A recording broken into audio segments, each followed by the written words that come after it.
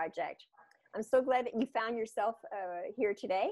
These are a series of informal chats and uh, where we hope to uh, inspire and entertain you a little bit about life here on the Gaspé Coast.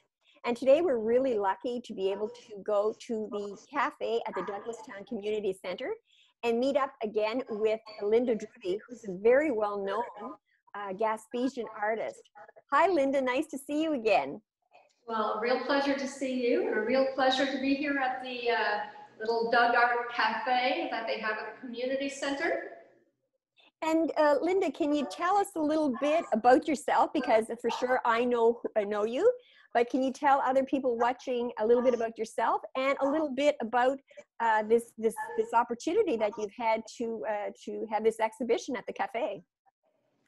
Um, well, I grew up in Douglastown. Um, I paint mostly uh, Gaspesian art um, because I love the place. Because uh, how can you not paint the Gaspé? It's so beautiful. There are so many different scenes to paint, and uh, so many wonderful people that inspire me, in a sense, to do paintings. Uh, I I'm uh, pleased to be here at the cafe. Uh, I am the first artist presenting here uh, out of many to follow, uh, I'm sure. And uh, I'm quite happy to be here. You know, one of the reasons is I went to school here. Actually, the room I am in was my grade one classroom. Whoa. And, uh, so being, if I were in, like thinking back to grade one, I would never imagine that I would be uh, exhibiting my paintings here. That's really that really adds a nice uh, part to your your story. You grew up, and here you are uh, as an adult, uh, and I see the paintings in the background, and they look amazing. So, can you tell us? Okay, so just tell us a little bit about the paintings and walk us around because I know that we're all looking forward to seeing it. Okay, so I'm going to give you a, a, a fairly quick tour, um, although some paintings might take a little longer to explain than others. So if you look at the painting on top, which is a covered bridge, this is Pont Galipeau, and this bridge is in Grand Valley. It's a covered bridge. And back in the 19, early 1900s, there were about uh, well, over 1,200 covered bridges in uh, the province of Quebec. And the thing that's very special about this is that uh, this bridge is called the Town Bridge, uh, not because they built them in towns, but because of uh, the uh, designer, um, architect, uh, Ithiel Town, who grew up in Connecticut. And so if you look at the design, it's like a crisscross design, and uh, and some people say it looks like it wouldn't be very strong, but it is a very strong bridge, and it's the most popular covered bridge uh, within Quebec. Uh, mo most of the bridges were built in this style. And um, somebody had asked me the other night why they had so many covered bridges. Well, if they built just a bridge with no roof, uh, it might have lasted about 20 years. But with the roof, it would last probably up to 100 years. So uh, I guess it was well worthwhile, and also it uh, kept the snow off the bridge too. Right. So I'll go on to the next painting, which is a today scene, and uh, the, this is a, a Giroir, Mr. Giroir, who is out lobster fishing. Uh, he, he just came in with his catch, and I love fishing scenes. Um, my father fished a lot, so I love fishing scenes, although he didn't fish lobster any scene with uh, water and fish and mountains is beautiful to me. And then we have down below uh, another today scene, which is Parc Forillon, uh, the way you would see it today. And this would be Hyman's store right here. And uh, so this little area here is Grand Grève. And uh, a grève is actually a stony beach where they would dry fish and so when the people first came here to fish, that's how they dried their fish, the, the cod. And uh, in later years, they built uh, fish flakes. And, uh, and today there are very few people still drying uh, uh, codfish on the coast. Very interesting. Thank you. So we'll turn to another painting, um, which is uh, the Fruing Company. This is a uh, drawing on the flakes. And so it's a very familiar scene to me because my father fished uh, on, the weekends. And uh, so we always have a lot of dry fish to eat, too much in fact. And, uh, and so anyway, uh, he would put, the, the way he would process that is they would clean the fish and uh, so they would lay the salt in the bottom of the barrel. They would uh, take the fish that was cleaned and, and they would turn the flesh side down and then they would put salt and then another layer of fish and salt and fish. And so they would leave it there for about four days and uh, and uh, then it would be ready to put out on the fish plate. So my father would put that out every morning before work, and as kids, we would watch to see if rain, if it was about to rain, because we would bring it in to uh, uh, off the plate so that it wouldn't get wet. And uh, of course, we had to dry it as quickly as possible to make it as uh, tasty as possible. Um, so the Fruing Company was there before Hyman ever came. Uh, they were here since the maybe 1770s or something, but, uh, but William Hyman uh, came only around 1845. Uh, uh, but they were competitors all through life. Um, this here is a scene of uh, Carter's Hill, although today they call it Carter Street, but right, if, if you know Gaspé at all, they, right now they have steps there. Um, Carter, uh, the Carter family came here around uh, the 1770s. Uh, it was after, uh, you know, they were, uh, uh, the first Carter to come had been in General Wolfe's army. So like many of the people who had been in the army, they were awarded a lot of land. And so he had a real fine pick.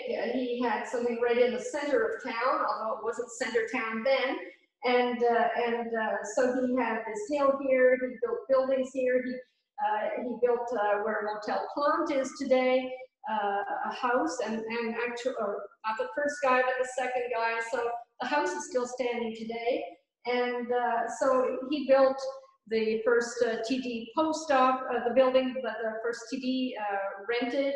He uh, built this building, which was also uh, a bank at first and then a post office, but uh, he had all kinds of buildings on Main Street. They were very wealthy people and they married into wealth as well.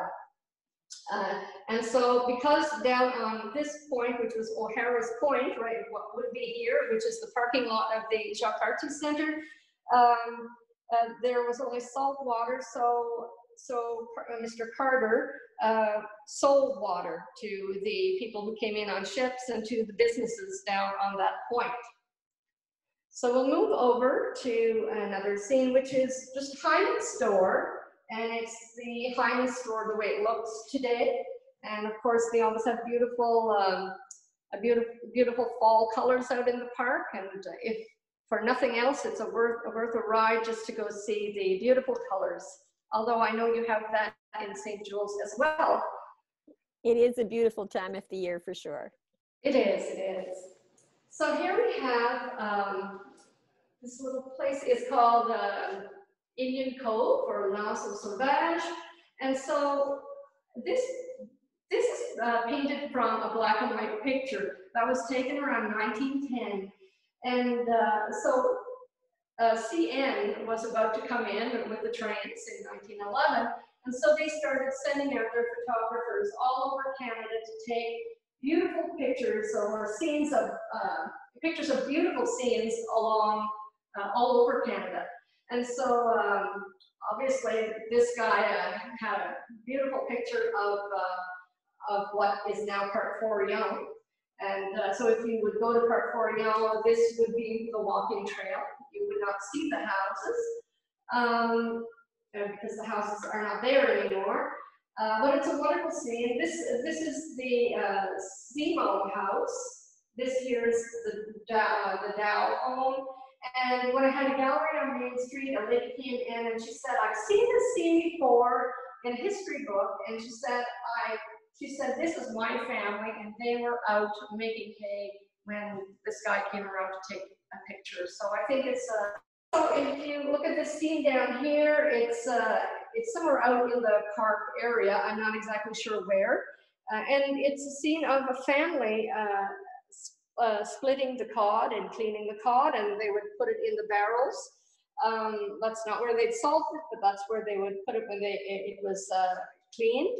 And, uh, and so you would always have fam whole families working. Uh, there were so many young children that I see these kids are playing, but so many young kids started going out fishing at the age of seven and, and even, uh, you know, helping uh, clean the fish or carry the fish or whatever. So uh, uh they grew up uh, a tough bunch of people, I guess, uh, all of the Gaspesians because, because they worked so hard. Wow, it's beautiful. So, thank you. So we'll move over here to a smaller painting, and it's actually a, a, view of Percé Rock, but from Bonaventure Island. And people started settling in Bonaventure Island around the 1770s as well, because these were people who had also uh, fought in General Wolfe's uh, army. So um, what a beautiful place to live. Uh, and of course today uh, it's, uh, it's a park and uh, there are 60,000 gannets who live on the island, and I think 218 different kinds of birds. So such a beautiful place. We're blessed to live here. So we'll move over here to, this is another park uh, Forillon uh, picture. It's called uh, uh St. George's Cove. And uh, so there were some Langleys who lived out here. Uh, and this is so small, but it's the Catholic Church. But I, I love it because of the scene. I, well, I love the rock, the rocks uh, in there, but I love that there's a boat and, and it shows that they would dry their nets uh, after um, they would dry their nets so when they came in from shore. And uh, I guess they would have to because the salt was so hard on the nets. And so we can look here at um, at um, Gaspé Main Street. And uh, so again, uh, as I mentioned, Carter and uh, Mr. Patterson, who rented that store as well, but in later years, when Mr. Carter died, uh, Mr. Patterson brought, bought it from his wife. So, so uh, um, there, have been there's a long line of uh, owners since the beginning, but certainly the Pattersons and Carters and Askies, and there's, there's so many old family names in Gaspé. Uh, so anyway, couldn't name them all now. Um, here we go uh, to uh, painting again uh, today's scene out in Parc Forillon. It's just somebody who had been out fishing on the wharf. It's a very popular place to fish for mackerel. And he was cleaning the mackerel, and I thought it would be a nice scene to paint. And if you look down below, uh, this is Indian Head, uh, very close to where we grew up. And, uh, well, you know, a 10 minute drive, I guess. Um, and it's always a lovely spot, and uh, the tourists absolutely love it uh, because of the Indian Head and the, the brush that's growing there looks like a mohawk. It's a wonderful scene. So we can move over here. Very good. You, your painting is amazing. Well, thank you, Mary. Thank you. Wow. Now, Mary, this is uh, down around your way. This is Mr. Cochrane's Curious Cows. That's really nice. So, uh, so I had gone to his place to uh, to visit his farm, and they are such friendly people, and it was so nice to uh, to be able to go and see the animals and his uh, two horses, the twin horses. And so anyway, I find it neat. I'm not used to uh, these animals, so it so neat when the cows, they all start coming, you know, there's some coming from a distance too, so it's really nice to see. And this painting here is a painting of the Shigawake Fair, which is, uh, I think, uh, this year was the 111th year for it. Mm -hmm. And uh, so it started, I believe, in Bonaventure.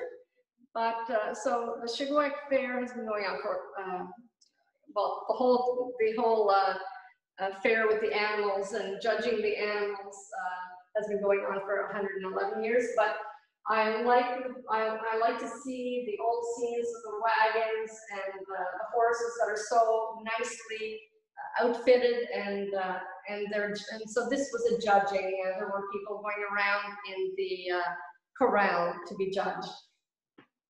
Uh, Mr. Wiley, I believe. And here we have a scene next door to where the Shigawake Fair takes place, and it's just the bales of hay and um, it's not something we see as much here right in Gaspé, so uh, so I love it. And these are my little girls, Mary. Oh, your chickens. Yeah. Oh, wow. oh, you did a wonderful job on them. Aren't they beautiful girls? They're beautiful. And I know that they all have a name. They do. They do. Peggy Sue, Ellie Mae. I can't remember them all. Okay. So we'll move over here to another scene actually that's quite close to your house. This is uh, at the uh, uh, Bluegrass uh, Fairgrounds. So this is the old Willett House. Very nice. And uh, so I just, I, I like the old scenes, you know me. Yes. Uh, and so this is a print of a painting I've done and it's just Percé. And one thing I, well, everybody loves the, the house uh, owned, uh, that was once owned by an artist. Um, but there's a little bit of history that a lot of people don't know. It was a Dr. H.A. that owned that at one time, and uh, he and his wife were the people who bought the bells for the Percé Church. And uh, so I, I, just like the colored stone down there. I think it's a beautiful beach. Uh, all those beaches in that area are very colorful, with very colorful stones. Wow. So the next painting we have is a very old scene of uh, a church. And uh, what I like about it is that uh, there are two nuns working out in the garden. And, uh, and so nuns were uh, given certain tasks. Some taught school, and some did the cooking, some did the cleaning, and there were some that did the gardening. I think you, if you had been a nun, Mary, you would have been out in the garden. Yes. you know me well. that's right. That's right. so we will move on. Um, the uh, top, the top painting is uh, is Gaspé, and actually this road here in Gaspé uh, was built in 1970 because that's when the year uh, the year that Parc Forillon opened, and uh, and so they thought we were going to have so many people going into the park that they would need much wider highways. So uh, they this is the reason why this is built. But uh, and so if you I'm not sure how often you come to Gaspé, but uh, there's a little area just on this side now on the right hand side of that, and it's uh, Berceau Canada. Okay. So, yes. um, uh, and they call it uh, O'Hara's Point. O'Hara's Point was really like this would be kind of where the shopping center would be on the left hand side. So they actually went across the, uh, the street to rebuild. Um, but O'Hara's Point is beautiful today as well. So we can take a look at the last painting that I have here. Um, and it's a scene in Mull A scene of fishing boats. Uh, the men had been out and they were back in, although I see there's no rope or anything left, so I, I think it might be the end of the season maybe. Um, so anyway, uh, the buildings on the side are freezers to keep the fish in because years ago, uh, first years ago, they used to sell, send away salt fish and uh, in later years, like in the 50s, they started uh, putting the fish on ice and selling it and shipping it to Montreal so it would be fresh. And that was very, very popular as well. Uh, oh, one more over here. so I don't know if you can see it very well, but the nuns did not always work hard. Sometimes they took it easy and they went skating. And I did this one just for fun to show a lighter side of the sisters, because sometimes they are talked very harshly about. But um, but you know, uh, somebody had bought one of my cards and they said it reminded them so much of when they were younger because the sisters used to go skating on the ice or on the river uh, below their place when she was younger. So she had a laugh over her paint, uh, over the painting. She said uh, just found it quite fun. Um, so uh, you had asked um, uh, before when we were talking uh, why uh, maybe I paint the scenes I do. I painted a lot of the uh, scenes of Park Forillon uh, about two years before um, they celebrated uh, the opening. And I, growing up, my parents used to talk about uh, Park Forillon and, and, coming in, and, and they, heard, uh, they would hear stories or read about it you know, that the people were being expropriated. I think maybe 245 families or something like that. And, uh, and so they, uh, when I was maybe like six years old uh, or seven, I would hear my parents talking about that. And, uh, and so they, uh, we got to know some of the people that were expropriated because they had to move somewhere. So they came, some came to Douglastown. And uh, so I found it very sad. I, I knew that houses got burned down, and I knew that uh, some people were, uh, well, I didn't know all the stories. I just knew that some people uh, didn't really leave there before because they could pay their taxes and they had everything they needed there. So um, when I got older, like, well, I'm just saying, like maybe 15 years ago, I started to get to know these people and heard their stories, and they were very, very sad stories. And uh, and I grew up under the impression that maybe their homes were kind of run down, but they had. When I started seeing the photographs, they were beautiful. I can only imagine how sad they were to leave. So, and, and like, if I move away from home, I would come back and uh, even if I sold my house, the whole village is still here. But for them, there was nothing left. So, um, so I wanted to paint these paintings to show people the beauty of uh, the Gaspésie and, and the park area. Um, so I guess maybe that's all. I maybe we are running out of time too. but uh, Linda, like I, I've so enjoyed your work because it looks like from where I am right now, just to because I mean we're not we can't see it up close as well but it looks like they're pictures you actually took pictures and brought them to life but when you when i'm i read you know like i have to say my god no she picked up a paintbrush and brought these scenes of Gaspésian to, uh, to life. It's just been beautiful. And another thing, we've got to, uh, to have a history lesson as well. So there really is a story behind every painting, and it makes them so much more valuable and so much more interesting. Linda, your exhibition is going to be on the uh, at the cafe until when? Um, I think it's done on the 21st, or it has to, uh, maybe the 20th, because I have to be out of here by the 21st. Okay, of October. There's another one coming in okay. right after. And uh, Linda, another thing, if somebody's seen one of your paintings here today and they're interested in one of them, or if they would like to commission you to do a, a painting for them, how can they get in touch with you? Uh, they can get in touch with me on Facebook. Uh, it's Linda Drody, or um, I can give my my email address, uh, which is l drody d r o d y at globetrotter.net. Um, okay. It's nice so, to give my phone number because I hardly ever check the messages. no, that's okay, Linda. What I'll do is I'll add that information at the end of this uh, this video. Okay, and, and maybe Maybe you can uh, put my website. Uh, sure. Email address. Uh. Sure, because I mean, your work is just, and I'm not just saying that, I really mean it. It, it is, we can all be very proud as Gaspésians to have you giving us this, these views of Gaspésian life. It's almost like you're taking them out of a storybook on the Gaspé coast.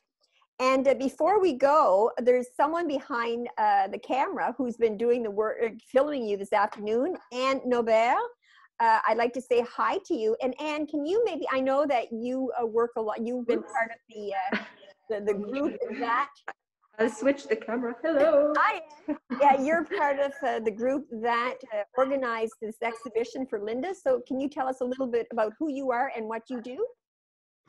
So I'm Anne Nobel and I work for Vision Gaspé Percé now, uh, here in based in Douglastown. And can can you hear me with the Yes, I can hear you. Yes, I Okay. can. So, and we had this idea with Isabel, Martin and Estelle Norroy from the Douglastown Community Center to turn the living room and cafe area uh, into a gallery because the the walls were barren, and so it adds a lot of atmosphere and gives the space a soul. I know Isabel is really happy to have painting paintings up on the walls. And so the, the aim is really to showcase local artists, Anglophones and Francophones to reflect the village, the, reality here. And, and if, the, if the artist is, for example, really just Francophone, it's uh, to translate, uh, for, for example, everything that Linda has done today. Uh, we, we feel like the English community doesn't have as much access to to that as the French people do. So it would be to translate such little tours as well. So it's also giving access to more art, giving the English population here more access to art. I, I think it's wonderful, and I'll look forward to seeing more of the artists that uh, you you have, uh, whose art you have on display. So, girls, I thank you very, very much. Thank you, Anne. Thank you, Linda, so much for letting us come in uh, to the cafe and seeing your work and seeing what you do. And let you know, like I say, we'll look forward to um, seeing you all again.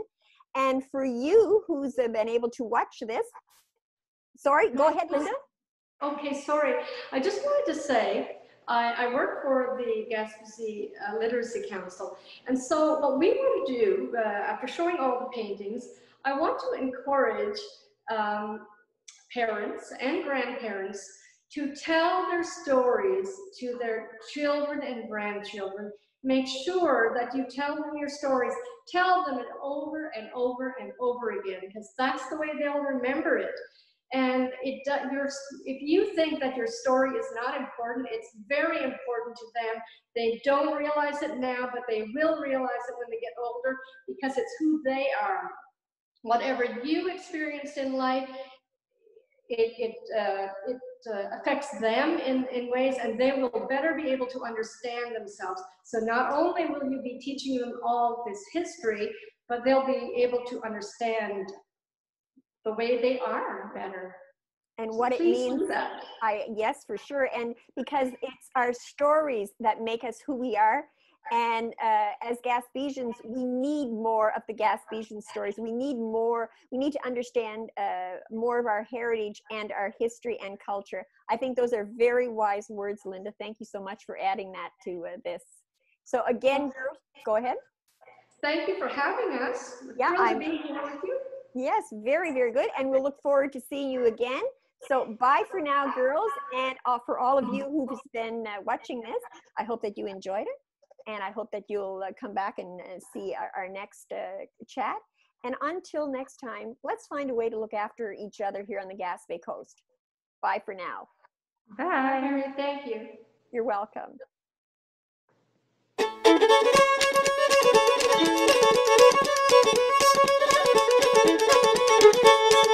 you.